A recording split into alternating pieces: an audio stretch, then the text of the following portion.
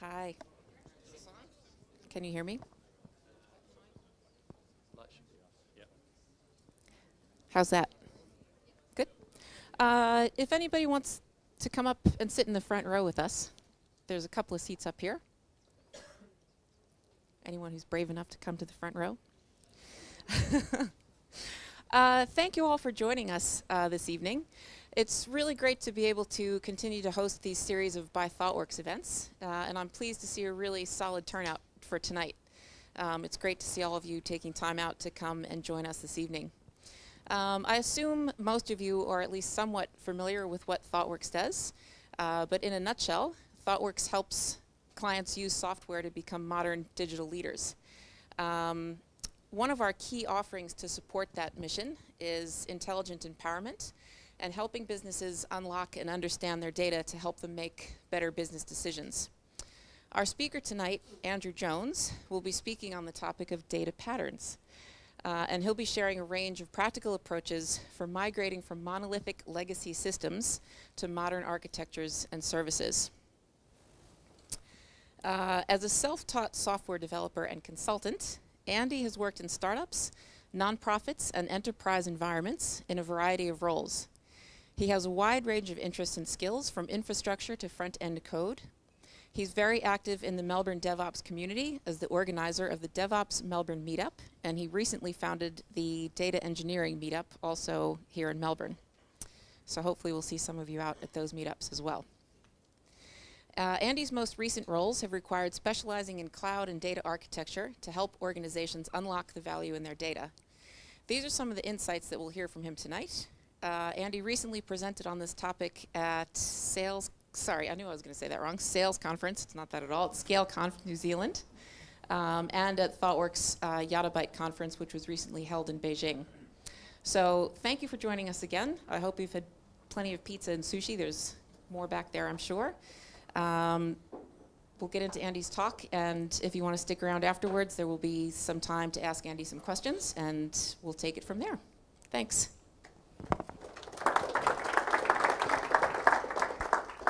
Thanks, Catherine. Um, how's the sound? Can any, everybody up the back hear me all right? All right, nice one. Okay, thanks everyone for coming. Um, this is a, a, a, great turnout, far more than I expected um, on a Tuesday evening in Melbourne, um, especially with the patches of decent weather that we've had. So thank you all for coming. Uh, I'm pretty excited to be to be talking about about this stuff. I'm like I've been thinking about this stuff for a while now, um, and I'm really keen to hear what you think about it and to just you know uh, roll it around and, and see how it is going to fit with your organizations. So, um, today we're going to be talking about migrating from a monolith to a modern data architecture. And that kind of operation can be uh, as complex and intricate as open heart surgery. And maybe that's, um, you'll see the relevance of the, of the background there. Um, in order for you to be able to tackle this kind of tricky procedure, I'm going to give you some tools to help. And we, we're going to cover a few things. Um, first up, we're going to look at some common symptoms that we might see in our own patients. And we'll go over why monoliths might not be serving us as well as they used to and the sorts of pain they might be causing us. Next, we'll offer a diagnosis. We'll try and unpack what a modern data architecture looks like. And finally, we'll take a look at some of the common treatments that you can use for your patient. I'm going to introduce you to the Data Patterns Catalogue and walk through some of the ideas in there that'll help you with your migration approach. So why would we even want to move away from monoliths anyway? Our enterprise monoliths have been around for a long time. Um, we think about mainframes that retailers or financial organizations have had running for 30 or 40 years. They've enabled these businesses to operate relatively smoothly and grow for that whole time. And that's a really impressive achievement. That kind of long-term stability is really hard to get. And we often see a similar story with startups. They usually don't have huge mainframe systems, but they usually start life with a monolith. This allows startups to grow while focusing on their customers without having to develop skills across a whole lot of different capability areas. Like you don't want to be mucking around with infrastructure when you're really trying to focus on what you're offering to your customer. So even if a monolith persists for the first few years or so, that's still a really valuable thing for, for startups. And we also often forget about data monoliths. The enterprise data warehouse pattern was popular for quite a while, it still is really popular. Uh, we'll still, you'll see plenty of those kicking around in organizations. I'm working with organizations today who are still using it. And they've usually worked because they're supposed to contain lots of data from disparate data sources from across the organization. They store current and historical data in a single place and they're used for creating analytical reports for workers across an entire organization. Enterprise data warehouses were supposed to allow full access to data without compromising security or data integrity. So monoliths obviously can be useful. So what are the sorts of symptoms we need to watch out for? So you might, you might recognize some of these. Um, we can usually identify the point at which a monolith becomes a problem. It is when it has become too large to manage effectively. They can reach a point where they're prohibitively expensive to enhance, to fix or maintain. Changes to monoliths can come with unintended consequences because they're so very entangled. You fix something over here and then something else that, that breaks something over here. Teams working on monoliths are often organized horizontally. For example, you might have your middleware team and your DBA team. And that means they're waiting for each other for things to happen. Um, and nothing gets done you know, until, until that team's done their thing. Um, and everybody just ends up waiting all the time for everything. Monoliths also tie to a single tech stack, making it difficult to grow new technologies as they evolve and mature. And due to the size and complexity of the code in these monoliths, it's usually time consuming and therefore expensive to onboard new developers because there's so much to learn. And don't, in this case, don't even think about like bringing on consultants or contractors to do that because it's just going to cost you a fortune to get nowhere. As monoliths grow, they usually grow a huge database with them, which makes changing your data architecture particularly difficult. Domain entities within these databases often get so tangled up with each other that extracting a single entity from your database becomes a, a nightmarishly difficult exercise and something that we just usually try and avoid, um, which makes the problem even worse. The data warehouse pattern requires organizations to have a single enterprise-wide data model, and those are usually really painfully slow to come up with in the first place and then very slow to change because every time you need to change it, you've got to get all your architects and all your data people in a room um, and all your business leaders and, and like that happens maybe once a year and then that meeting you know takes weeks and weeks and weeks and then you get something. So changes to this to that model, they just they don't really happen at all. Um, in these systems too, your storage format is coupled directly to the consumption format, which means changes need to be thoroughly vetted so they minimize the changes of breaking everything downstream. And if, if your, your sort of business reporting, your management reporting systems are built on these, you really don't want to break those because that jeopardizes the operational running of your organization. And we definitely don't want that. So here's the thing. Speed to market is critical for modern, for modern businesses, particularly if you're an aspiring digital organization. These modern digital organizations um, should, be, should be in such a place where data is informing all of your business decisions. So that if you can't get your data quickly and in the right form, then like the game hasn't even started. So what does a healthy patient look like? What do we want to get out of um, a modern data architecture? So let's say that we're going to start doing some surgery on this patient.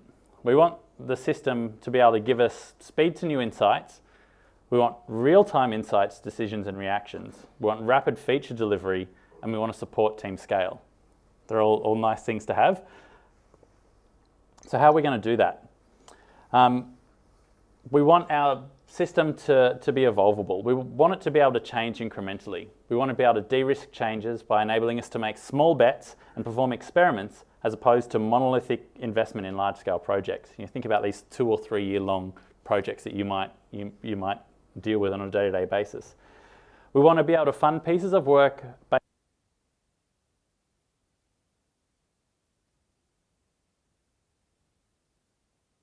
of work. Our systems need to be able to support these incremental changes and experiments, and that means small, well-encapsulated, loosely coupled applications. Our system needs to be able to scale as well, both for load and throughput, as well as teams. If we're running our business on data, then we'll need to be collecting increasing amounts of, of it and making it easily available to growing numbers of users.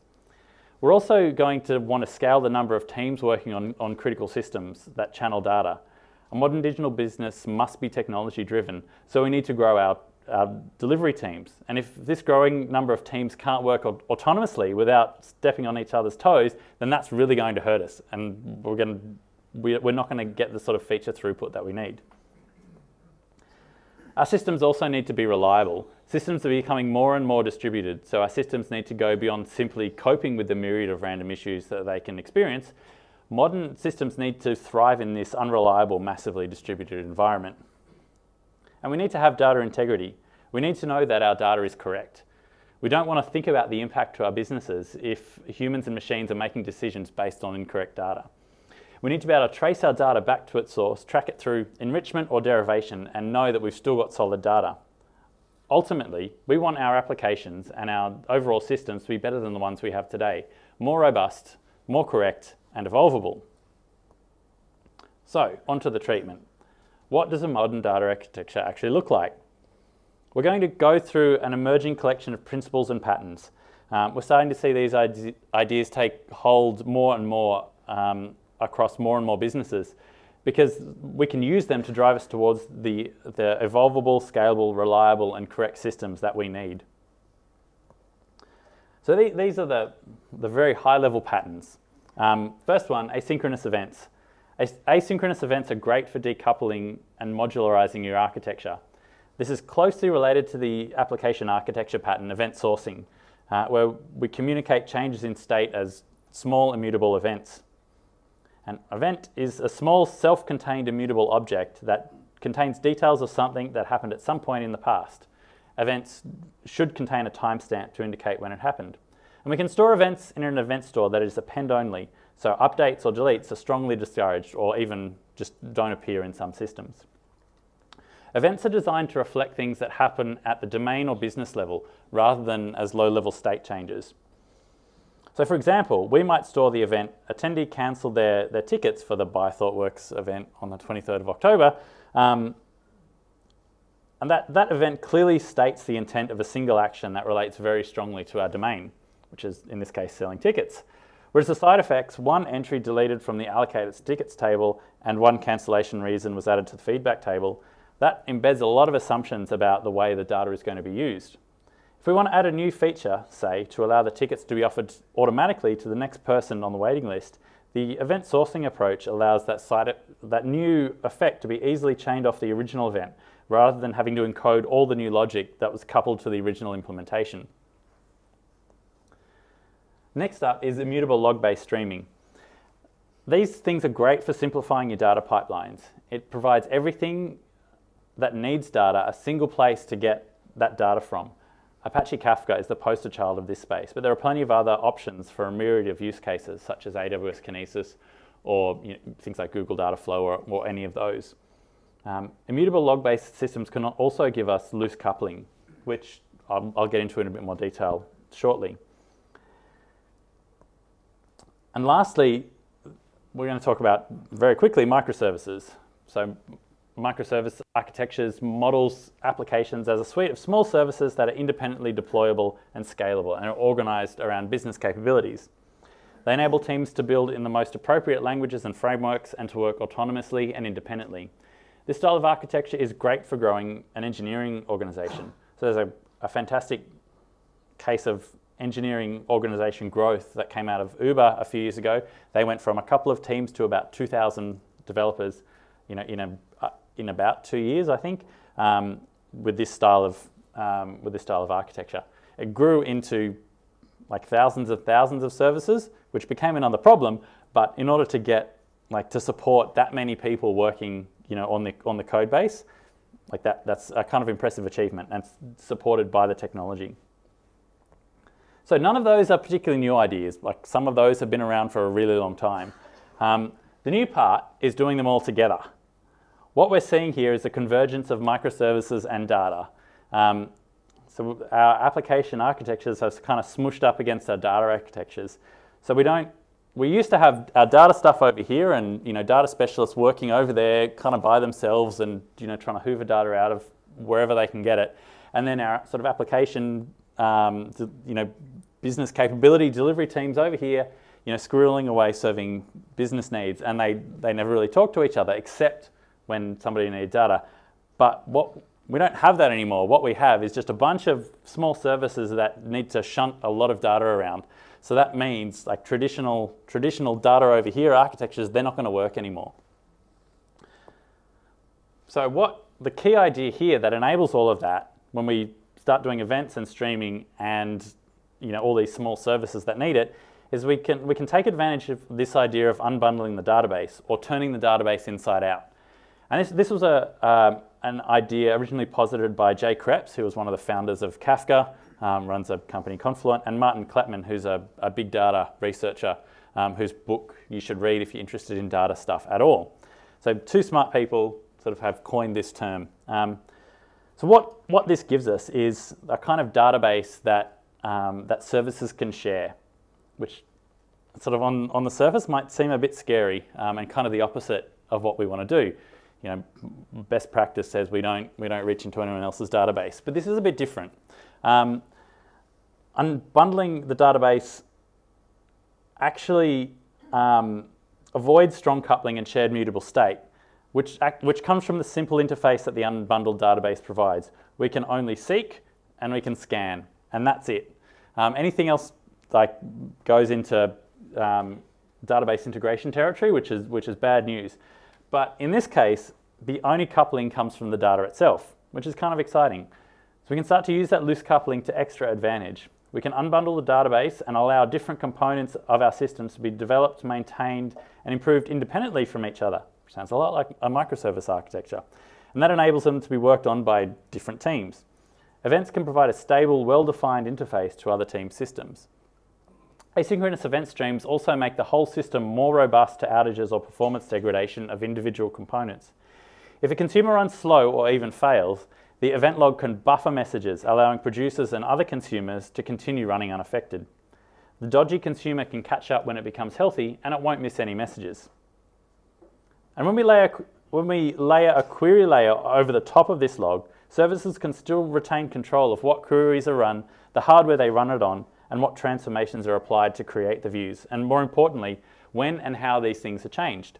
It's this level of control, when compared with a traditional centralized database, that keeps services nimble and agile. When a service needs to release, all the highly coupled pieces are already inside its deployable unit, and only the data itself is shared. So that, that's sort of the key idea behind this uh, unbundling of the database. So if, that, if that's what we're working towards, um, we've, I'm going to give you some of the tools that you can use to move towards this sort of architecture. This is the Data Patterns Catalog, or a collection of maneuvers, concepts, and guides for building your own data platform roadmap. This is something I've been working on for a while. It's still in the works, but even now, there are hopefully some useful things in there that you can start using today. The key idea here is that when you're moving to an event-driven architecture, it gives you a few more levers you can pull when you're planning your roadmap and your, your complex migrations. Some of you will have come across some of these patterns before, but they might be a little bit different uh, when working in this style of architecture. So hopefully you'll be able to use this to come up with your own plan for treating your patient without stopping the blood flow. So first up, we've got the classic strangler pattern. Uh, you might be familiar with this if you spent any time working in object-oriented languages, um, particularly if you've read any of Martin Fowler's refactoring work. We, we're going to take this idea and then just apply it at the macro level. We're going to, but it's, it's, it's exactly the same in principle. So starting out, we've got a monolith, and we need to extract a capability from it. So in that case, it's sort of it's a it's a set of components that, that you know that relate to a particular business business function. Um, it's quite similar in concept to a, uh, to a bounded context if, if you've done any, if you've read the Big Blue DDD book. Um, so what we're trying to do here is we've got an app that we want to push into a different bounded context or it belongs to a different capability. Um, or the monolith is being phased out due to you know, some sort of infrastructure license or other reasons, but the app should live in the current context. Like for example, your mainframe is too expensive now and you want to, you want to move things off it. So this, this can help us with that. Um, the strangler pattern allows, allows us to sort of enable continuous service while the new, the new app is being built and gradually the new app can take on performing the tasks of that component in the monolith. We favour the strangler pattern with external facades for situations where it is hard or undesirable to change the original service. Without the strangler pattern, migrations tend to happen in a big bang, like all the migration happens at once. With the strangler pattern, we can eliminate some of that risk associated with moving to a new version of the service by enabling it much sooner and run it in conjunction with the old version of the service. And it also enables quick rollback if things go wrong. So just to, we're going to step through a really sort of trivial example of this just to show sort of how it works um, at, at, this macro level. So we've got, if this, this, this big, big thing, that's our, that's our monolith. We've got you know, some, some unit of functionality in there that we want to extract. Um, and it talks to two, two things outside. Um, it's sending data to a, somewhere and it gets data from somewhere. Um, so our goal is to get that, that little one inside the monolith out. So first up, we're going to put, um, we're going to put an, we call it a, a, an event gateway in there, but it's really just a, all it does is um, it copies a, some sort of input um, or output and sends it to somewhere else. So in this case, it's just all it does to start with is it gets what was coming out of the out of the monolith and forwards that on, and it takes whatever was coming in and forwards it on. Nothing, nothing flashy yet. What the, the trick comes here where we all we do is we copy the data that's coming in, we, we deploy our new service, um, it's, and start copying that stream of you know whatever, be it a, a, a file-based um, data packet or you know so that an HTTP sort of um, data package, whatever it is, we're, we're just going to copy that out to the new, like the, the thing that we're trying to extract. Um, the, the, the chunk in the mainframe is still doing the work and it's still the thing we trust, but we can start, we can start working and testing uh, the new thing that's coming out as we go. Then we can, our, our event, event stream appears, um, or an event sausage, as it, it kind of resembles here. Um, once, once we've got data coming in, we can actually start to, we can start to push events. Um, our new version of the service starts to push events onto the event stream. And they're not doing anything yet, they're just there. Um, they're happy little events, just on their way. Once we get, like we've built up enough trust in that, we can actually start something else can start reading those events. Uh, and this, this is where uh, this decoupling comes in. Um, the, a new version of the service is, has published these events, and then our receiver is going to start reading those events. It doesn't have to, doesn't have to act on those yet. We can wait until we've actually, we can do some uh, parity testing inside, inside this receiver to make sure that the data coming in from here matches the new data coming in And when we've got that, um, we can actually break, like we can switch, we can switch this thing off. Um, the feed coming directly from our mainframe component, um, the, the, the sending service can just send data to the new version of our system, and then, and then we take the gateway and the original mainframe component away. So that that's kind of a very trivial example, but that's kind of how it works in practice when you do this. Um, the, the, the pieces are, are, are, just bigger than what we would have done in, a, in, our, in our Java apps back in the day. So if we build on that, like if we take that, that basic idea, we can use, um, like if we, if we can actually change the monolith, um, another option we have is to, to be able to identify event seams which are places in the monolith that change state relating to particular entities.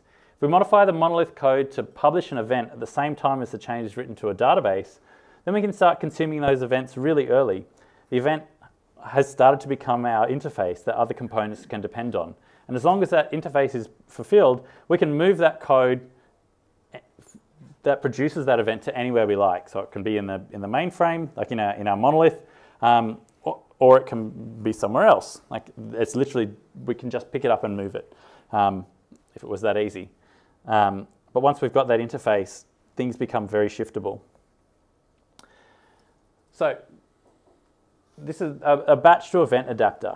Um, so once you can establish the source of truth in an event stream for a particular entity, so you've got enough, enough data coming in to represent you know, the entire life cycle of a, of a particular entity, um, but at least partial responsibility for that entity is in a service that only deals in batches, especially file-based batches, and can't be changed easily. So for example, a, you know, a, um, an off-the-shelf product that you're using. We can start um, by, batch, uh, by proxying that batch using a migration gateway um, so that downstream services are not affected. And then we can create one of these, a batch to event adapter that receives the batch dump, translates that into individual events and pushes them onto the event stream. So here's, here's our situation. We don't want to, we don't, we can't change the producer easily, so it's just going to hang out there on its own, but we can, um, we want to enable, uh, we want to change this batch consumer to an evented consumer. So it's receiving individual events and being able to respond sort of in, in real time, potentially. So first thing we'll do is we'll put one of these uh, gateways in between, and all it's going to do is just proxy, proxy what it gets and, and send it on. What we do here is we're going to do that, that, that magic copying again. We're going to start forwarding that, that batch file to a batch to event adapter. And then that batch event adapter will start producing events at some point. So we've got our event stream. Um, then what we can do, once we've got sort of enough trust in the events coming out of that batch to event adapter, we can start consuming them in this, in this batch consumer which we should stop calling the batch consumer at this point because it's, it's starting to consume events. Once we've got, once we've done enough testing in this thing to know that the read model it's built from uh, consuming this event, the event stream, you know, as well as the batch files, we can, we can start thinking about getting rid of, um, sort of getting rid of this direct connection between these two things. So we've got this is this has ceased to become a batch consumer and it's now an event stream consumer and our batch consumer is sitting happily over there doesn't know a thing about the world of events. So it is, is very isolated. Um, if you know the uh, domain driven design terminology the batch to an event adapter is a bit is um, is kind of like uh, an anti-corruption layer um, here. It's it's shielding the rest of the world from its like from domain um, corruption we can also go back the other way. So we've got source of truth in some event stream for a particular entity, but we've also got services that consume that evented data that only deal in batches um, and can't be changed easily. So this is likely to occur when we're extracting a new event producing service from a legacy monolith. We can create an app that builds a read model of the entity from the event stream.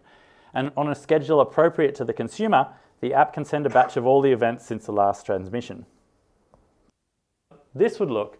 So we've got, we've got our monolith here. We've got some, some capability in here called B um, that is communicating with A, which is producing events. Uh, we've also got C over here. We're looking to, to, to get rid of this connection, to decouple these things. So what we're going to do first is, so we've, we've already got the events, we're going to start to build up a separate read model here. It, it hangs out on its own, it's a bit independent. Um, but what we can start to do here is again, we can do that parity testing to make sure that the data that we're getting from here sort of matches, the, matches in both these places. Um, then we can, we start, we start to feed that data into server C um, and, and we can turn off the feed between B and C. So we've, we've isolated, so A deals in events, C deals in, in in whatever it needs to, and B, um, the connection between B and our potentially corrupting system C, that, that's been isolated. So again, this, this read model is, is acting a little bit like a, like a, a, a corruption barrier. So th those are some nice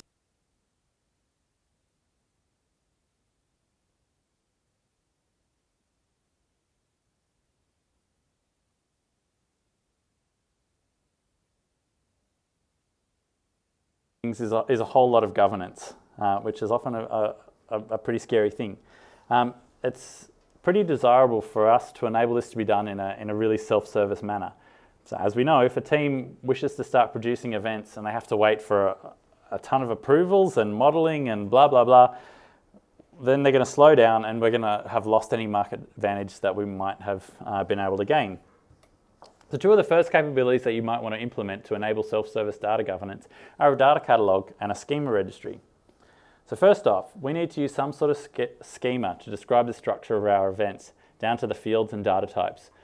Whether some piece of data conforms to a schema can be checked at different points in the data's lifecycle. We can also make assertions about the compatibility of a particular change to a schema for downstream consumers. And there are plenty of options to choose from. Some of them include Avro, Parquet, Protobuf, and Thrift. I'm quite fond of Avro. Um, Avro separates the ideas of a writer schema and a reader schema. For any given schema, they don't have to be exactly the same, they just have to be compatible. This opens up a world of joy for us when we want to evolve the structure of a particular event type. Is, there are certain checks we can perform on our schemas to infer that a change we've made will be safe for our consumers. And we can do this in sort of local development. We can compare, like we can change our schema and compare it to the old one, and the tools will tell us whether this is likely to be compatible or not. We can put that in CI or you know, in our continuous delivery pipelines to actually fail deployment of a new producing service if, if the compatibility doesn't meet what, we, what our organization needs. And that, that's a really powerful thing. So we're starting to automate the, the, the, quality, the quality checking. We're pushing responsibility for for data quality, for data cleanliness, back out to our to individual teams rather than being centralized in, in, some, in some data team or some governance team. So building on that, we can, can start to build up a data catalog, which is a, a really key element of a data platform, um, which enables discovery and maintenance of those data sets. Key functions of the data catalog could include um, to expose metadata, including freshness, access metrics, and provenance, we can allow creation and updating of metadata. We can provide access control for metadata and data sets. We can provide sampling or raw access to data. We can allow search of metadata and we can uh, perform governance of required metadata fields. The schema registry provides more detailed information about the specific structure of the data in the event stream. Key functions of the event registry are to provide a data shape for events in the data stream, and for use by operational systems, for instance, for data serialization and deserialization, um, what we can do is separate, like when we push our events onto the event stream, we can actually take off um, the, the separate the schema from the data, um, put the, the schema somewhere, which enables us to really make our, our events really, really, really small, which gets them going much, much quicker. Um, so we can fire them, get them to where they need to go really quickly, and then deserialize them when they get to where they need to go, which, which can speed things up a lot. Um, we can also, developers, um, analysts, and data scientists can also use the schema registry um, to, to give them you know, particular detail as they, you know, they, they found a data set like, and, and want to know what's in it to, to start to figure out if, if it's actually useful for them. Um, and our schema registry can also have metadata about schema um, for specific fields within each schema, um, including provenance. So the event stream can, should uh, enforce conformance to the schema registry, preventing ingestion of events with schemas that are not in the schema registry or that have inadequate metadata, which helps when defining an integration contract between services. If you set up some kind of mapping of event types to topic and streams, for example, like if you have one schema per topic or stream, the schema registry can provide some sort of discovery mechanism. And what I've seen at a few organizations is like we just have a, a really simple method of topic naming um, to, to, uh, to make it really clear like which events belong to which, which services and which, it, which namespaces or which you know, domains. So um, another Another thing we've seen a growing interest in recently is change data capture, which is the process of, of observing all data written to a database uh, and extracting them in a form which can be replayed in other systems. Change data capture is particularly interesting to us if the changes are streamed at the same time as they are written to the originating database. For example, we could capture the changes in a database and continually apply them to a search index. So we're building up a search index kind of magically as we're building up the original um, index. If the log of changes comes through in the same order as the original writes, as we'd get with our log-based event stream, we would expect the data in the search index to match the data in the original database. All of these secondary indexes and all other derived data systems just become consumers of, of the change stream. So they're, they're no different to any other application that would sit and read, read events. I've been recently using this a, at a client to extract data from the source you know, from a, uh, it's got a, a, lot of very rich, useful information to the organization and transform what is about 14 different tables, uh, the changes from those, using stream processing tools to convert that into a valuable domain event. Sort of rolls it up and just presents a nice sort of sales uh, event. And there are plenty of tools that do this. You- You're not locked into any, any particular technology. We've got Debezium and Maxwell for MySQL, Bottled Water for, for PostgreSQL, GoldenGate for Oracle, and plenty of others for other platforms. Kafka Connect also has an API um, in which you can plug a streaming data provider, like a change data capture uh, adapter. There are, there are a lot of open source CDC tools that make it easy to get started producing change events from a database onto an event stream. So if, if a traditional database mutation uh, transaction mutates several objects in a database, it's usually difficult to tell after the fact what that transaction actually means. Even if you capture the transaction logs, the insertions, updates, and deletes in various tables, it doesn't necessarily give you a clear picture of why those changes were made. The invocation of the application logic that constructed those changes in the first place is transient and it cannot be reproduced. So good luck debugging it. Event-based systems, on the other hand, can provide much better auditability. In the event sourcing world, any change to the system is modeled as a single immutable event, and any resulting state updates are derived from that event. The derivation should be deterministic and repeatable, so the running of the same log of events through the same version of the derivation code should yield the same state. And that, that's, a, that's a really powerful thing to be able to replay, replay your state up to a point, like for, for debugging or you know, for for, for, for auditing, anything like that. That makes the provenance of data much clearer. Data integrity becomes much more feasible to check because we can, you know, if we are trying to debug something, we can figure out if it was in the code, you know, that derived the data or where it was in the data. Like we can actually tell that um, with this sort of system. For the event log, we can use hashes to check for corruption. And for any derived state, we can repeat that processing to see if the resulting state is the same or you know, run, run the same processing in parallel.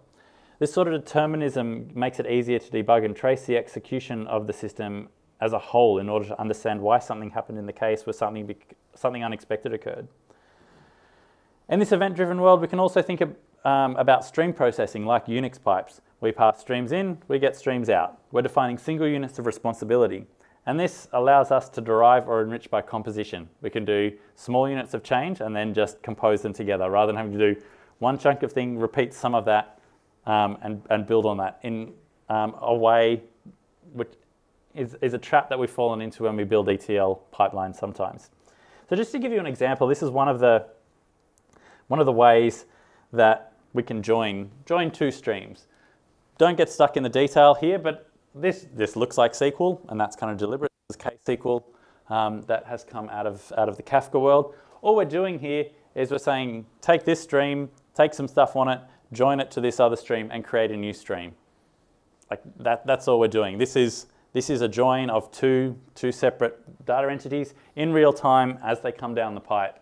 Um, and we, and we get a new stream out the other side that is, you know, is, represents something useful to us. This is, this is the sort of composability that we get. We could then take that, that third stream and, you know, join it to something else you know, as we go. And we haven't lost the original, um, the original data. It's still there in those topics as well. So we can continue to, to, to use them to do interesting things.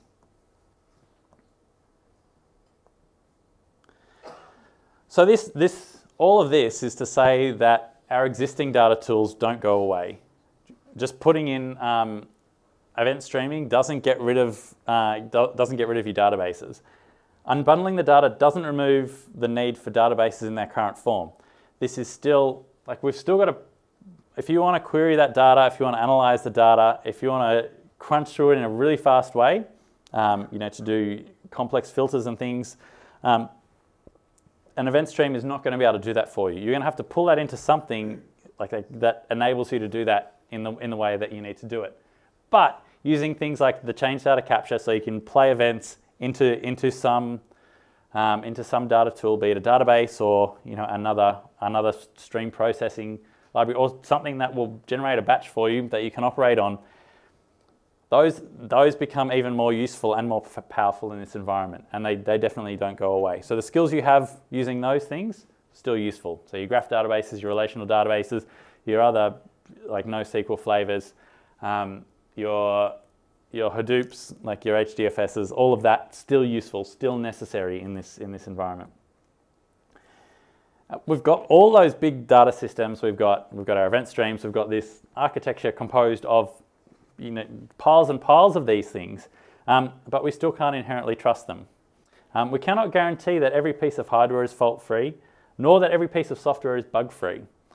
We need to periodically run end to end verification of our data for integrity, reliability, and auditability. If we don't check, we won't find out about corruption until it is way too late and has potentially caused significant downstream damage. If that happens, it can be really expensive and almost impossible to track down the problem. End-to-end data integrity checks will help us exercise the breadth of technology that supports our data. The more systems that we can include in the check, the fewer opportunities there are for corruption to go unnoticed.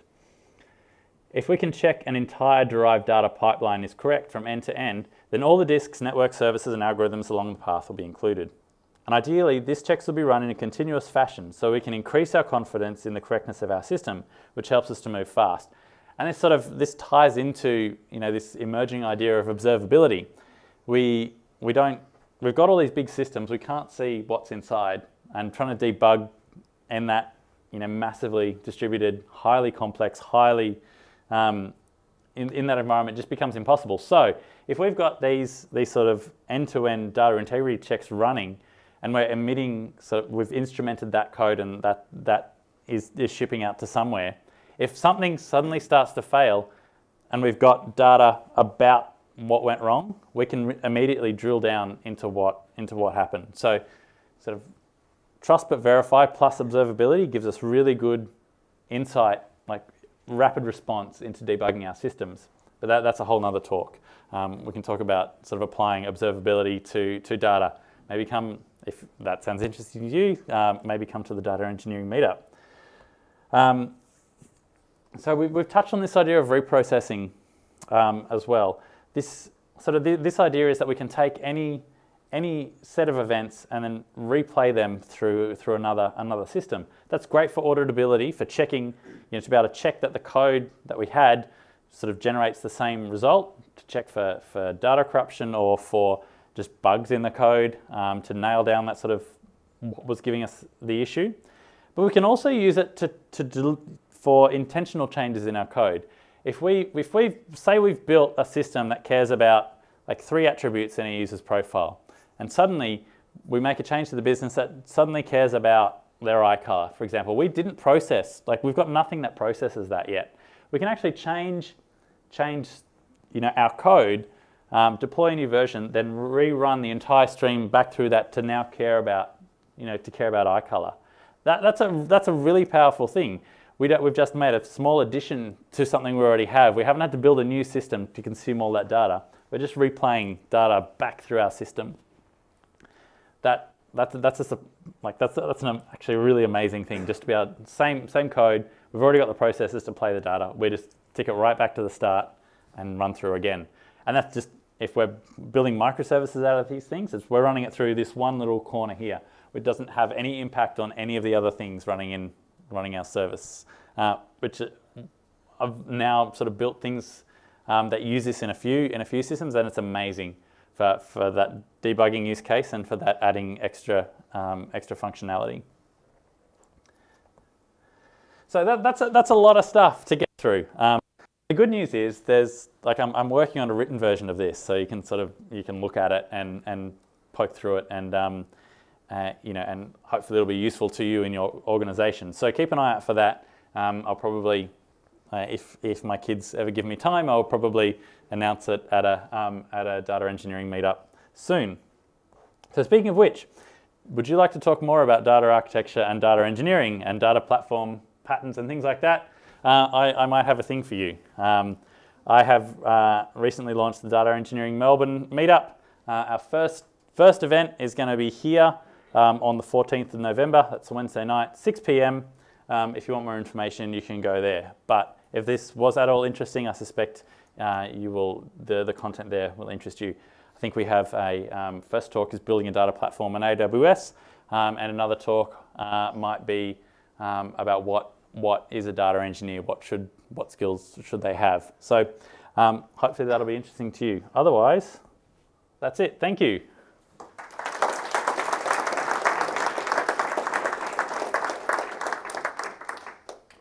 Think we've got time for, for questions. So um, if anyone has a question, I've got a mic here. Um, oh, one here and then one there. Okay, thank you for this presentation. It's on. Uh, thanks for your presentation. It's uh, really, uh, for me, it's uh, something new. and learning uh, good things about the data. I saw it from a different perspective. Uh, what I want to do, uh, to ask you really about this concept is that I, I, I really, throughout your explanation, Mhm. I found that there are some similarities between what you explained and between the enterprise pl uh, middleware platforms. Mhm. So in a large degree, uh, the middlewares can uh, do things, a, a lot of these patterns, uh, and make reprocessing, uh, capture events, Mhm. uh, try to uh, make buffering, uh, all of these things. Mhm. So how this will be different from the enterprise middlewares? So, so the main idea is that like there is usually a lot more um, functionality shoved into your enterprise middleware products. All the event stream is is like you really the way you interacted with it is you give it data and then you get data out. That's it. Um, everything else is in the clients, um, and that's where the, the, the flexibility really comes from. You've got your decisions, technological decisions made by the consumers and the producers rather than by this tool in the middle. That's that. I think that's the big difference and the big, um, I think, a, a, a game changer. Thanks. Hi. Um, so I think that was a really great talk. Thanks for that. Um, so some of your strategies, so for example, the batch to event adapters and vice versa, Mhm. is that actually happens in productions? And if it's and if it does actually happens in productions, how do you strategize or plan for them? And when do you actually cut them off? How do you decide that? So when you um, when you plan for them is when you start thinking, you know, about moving moving pieces around. So we're building a new thing over here, or we want to, you know, cut this feed here. It's at, it's at that point, like when we're planning uh, when we're planning our, our sort of architecture roadmaps. Um, when we turn them off, like this, this is the key idea, and I'm not sure it came through strongly enough, but the, the idea when you turn them off is when you've got complete trust in those systems. So you've got verification that the new process that you've built on this sort of consuming or producing events matches what you're doing with the old one. So we can sort of run automated parity checking. Sort of in times past, we'd have someone like a data engineer or a tester come in and do manual reconciliation. Like that, that might be a concept that you know your organizations do is reconciliation. This is the automated version of that. So you've got your system is telling you I, I match like what what was coming before, and you know, point where we've got confidence to turn it off. You know, it might be a week, a month, whatever, but whatever our you know confidence level needs to be, like we've got sort of you know actual verification.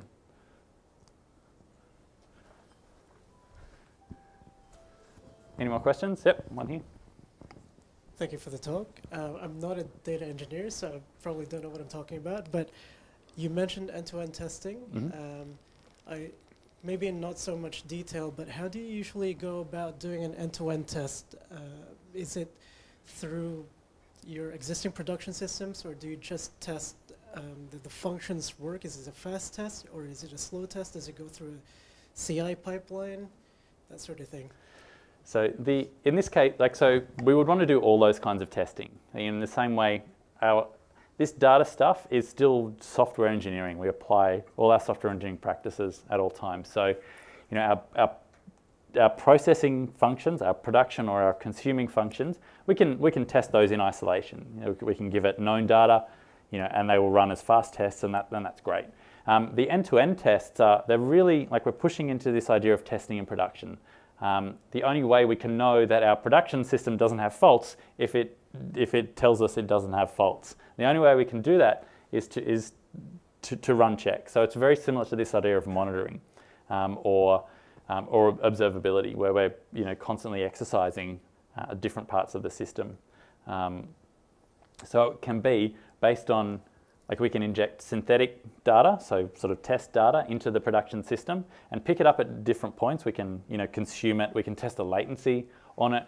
We can test that every piece of data that we emitted came out the other end. So at least we've got an idea that something is working. We can instrument a um, an, another data set, a valuable data set. You know, so if you're a retailer, you might instrument your sales data because that's sort of the engine, a measurement of the engine of your of your business. Uh, you can tag that to make and, and, then do checks that match, like you know, for a sample of sequences that um, you get that e everything within that sequence appears. That the latency is is low enough um, to support the other, you know, uh, the other functions, you know, that need to process that. Um, we can just emit an event and make sure it goes all the way into our analytics system. So there are different flavors of these, but yes, we would definitely run them in production. Thank you. Thanks. Any more questions? Uh, there's one here, and then we'll go over there.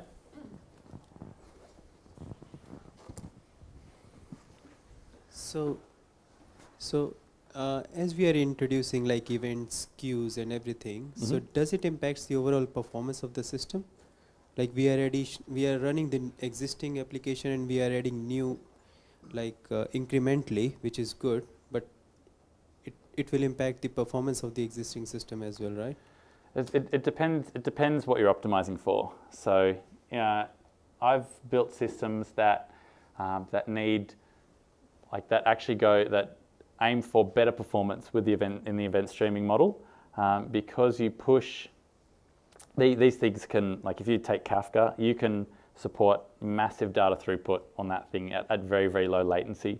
Um, and if you take advantage of the, the Kafka TCP protocol, um, that gets your data packets really small. Um, and if you use Avro on top of those, so you, you, get into this idea of separating the schema from the message um, and just putting the message through, like you can really, you can build very, very fast systems and very responsive systems using this. Um, if you're syncing events into a like into a mainframe database that can only process things very slowly, like that's that like you're limited by you know how you like how you read these things. So yeah, depending on how on what you're talking to, on what your sort of consumption requirements are, yes, it might it might make things slower, but in most cases there's a way to make it to make it faster, or at least just sort of keep up with match what the rest of the system needs to do. So you uh, mentioned about the best practice to follow while converting monolithic to a microservice architecture, mm -hmm. like take one bit, add event uh, queue and things like mm -hmm. that. Mm-hmm. Are there any traps that we should avoid or like look for while converting monolithic to microservice? And the second question is, like as you mentioned, there could be thousands of microservices. How we handle the maintainability of those services? So that so second one first, maintainability of, of a gigantic fleet of microservices. I wouldn't recommend going from zero, like from one thing that you're looking after from one monolith to a thousand. Like that, that's probably a bad idea.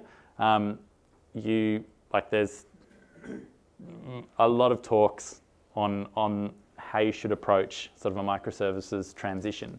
Um, there are a bunch of requirements that you need to meet in order to be able to sustain that kind of thing. You know, you've got very good infrastructure practices, very good sort of automation, infrastructure automation practices, a really good DevOps culture, a really good sort of build and run, like there's a lot of things, you know, going on there to, to make that work. Um, in the, on, on the traps um, would be going after a microservices architecture when you're not ready. Um, we don't need um, we don't need to, to move immediately to you know five things in you know in the place of one. We can move to two things first, and then you know and then to three things. Like we should go in that sort of a, a way. Um, so microservices stuff aside, the traps that you can fall into are, um, are getting getting the events wrong.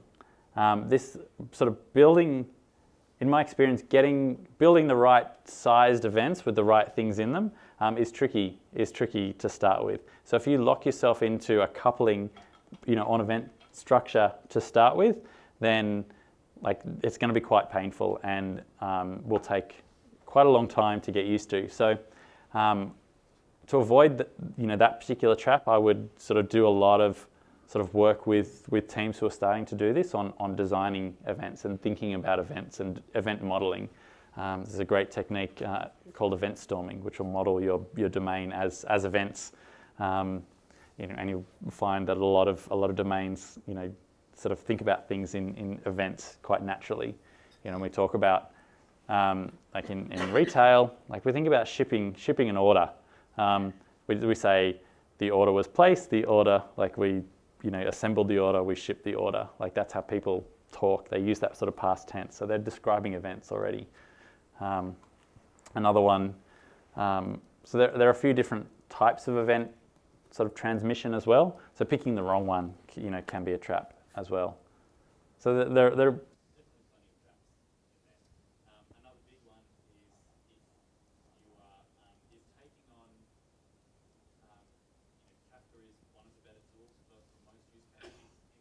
taking on uh, responsibility for running Kafka when you when you don't have really really good infrastructure practices like that you're in for a world of pain. It is a very complex beast to run. Um, there are plenty of ways you can get Kafka without having to run it yourself. I would definitely look into that before you like before you embark on Kafka you know in feeding that. So they're, they're, they're the big ones the big traps that I've seen. Thank you. Um,